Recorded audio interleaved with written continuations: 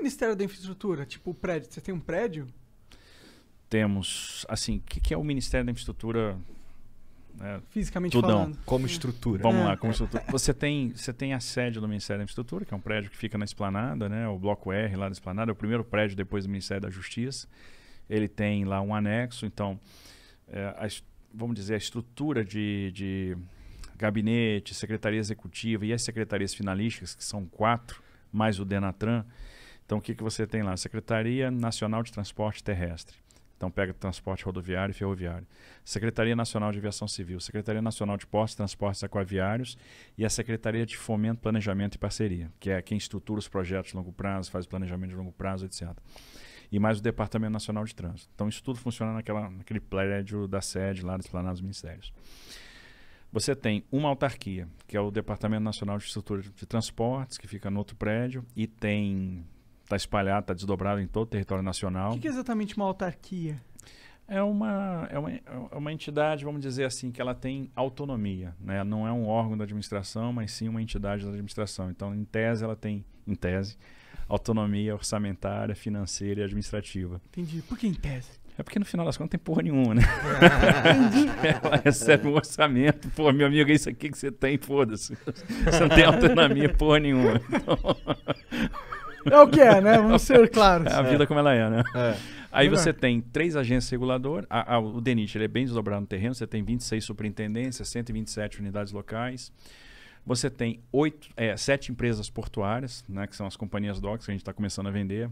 Entregamos hoje o estudo da venda da, da companhia DOCS do Espírito Santo no Tribunal de Contas da União. Santos está quase pronto, Itajaí está quase pronto, São Sebastião está quase pronto. E nas- prepara Bahia, Rio de Janeiro, Pará, nós vamos vender todas, né?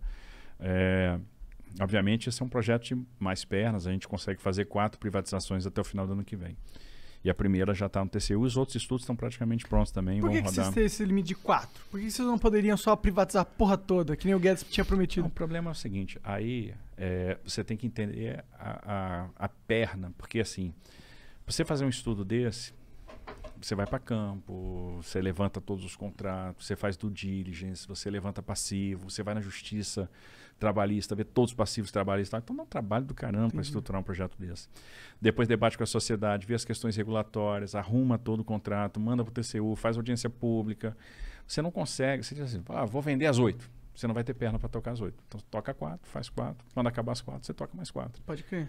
Então, o perna, não- como você diz, é realmente Braço- é funcionalismo físico. público. É, não tem, você não tem braço para fazer tudo. Não tem estrutura Você vê, a gente já fez 71 leilões de concessão. Pô, fizemos pra caramba. Foi o que mais fez. Ninguém fez recorde. tanto quanto a gente. Nunca ninguém fez, fez o que a gente fez. Agora, mesmo assim, pô, e a gente tá ali, pô.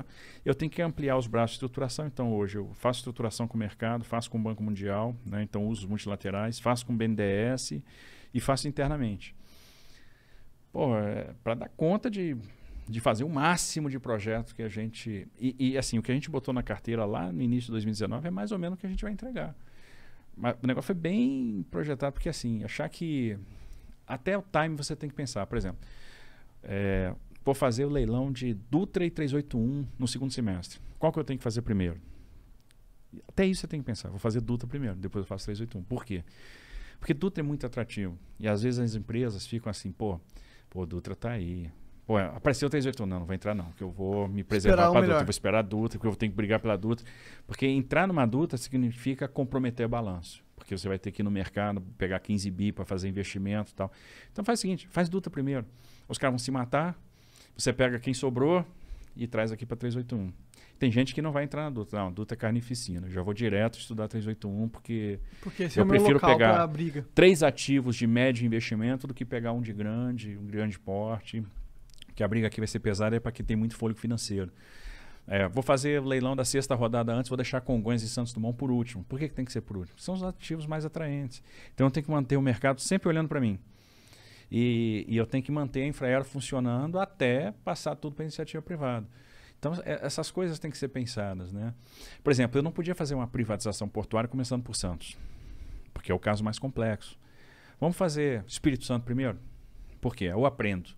Aprendo as dificuldades regulatórias, aprendo a questão dos contratos, elimino a resistência. Aí você faz, fez, foi sucesso, Veio uma porrada de cara grande, participou do leilão, fundo de investimento, não sei o quê.